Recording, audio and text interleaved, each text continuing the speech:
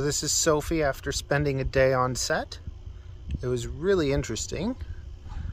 And uh, we're not allowed to share stuff with you, so that's kind of sad, but we had a great day. now we're done. So we're just processing. Did you have a nice day?